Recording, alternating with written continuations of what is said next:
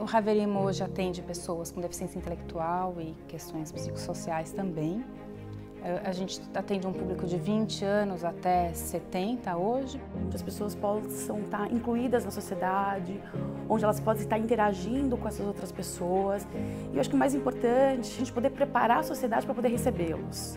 O Raverim tem atividade todos os dias, de domingo a domingo. Durante a semana a gente tem oficinas socioculturais. O que me trouxe para o Grupo Raverim foi o fato da Gabriela não ter mais espaço dentro de escola e aí ela não tinha amigos. E aqui no Raverim a gente encontrou esse espaço. Nós saímos para ver o cinema, teatro.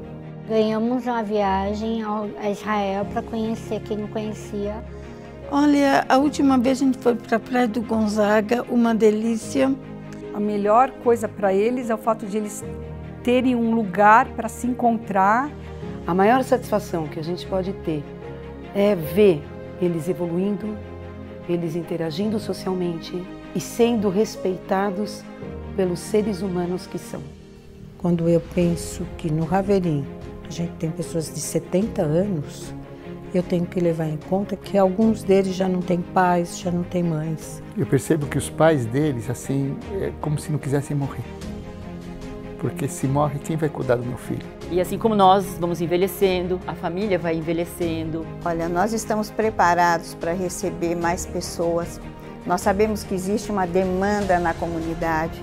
A nossa vontade é muito grande de receber todas essas pessoas. Raverim é um espaço que inclui as pessoas que foram excluídas tanto tempo dentro da nossa comunidade.